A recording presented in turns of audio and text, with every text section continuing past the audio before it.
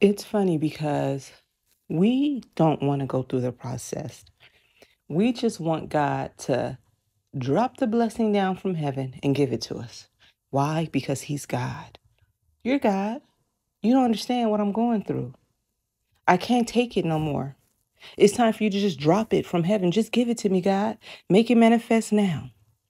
However, if God Himself had to go through the process, you best believe we have to go through the process.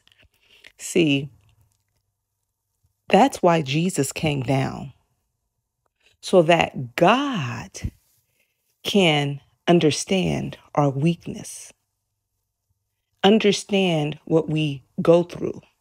That's why he took a piece of himself to come down in the flesh as Jesus. And it was a process that he had to go through, even to the point of death, so that you and I may be saved. So when you want to think and say it's taking too long and God, you don't understand, yes, he does.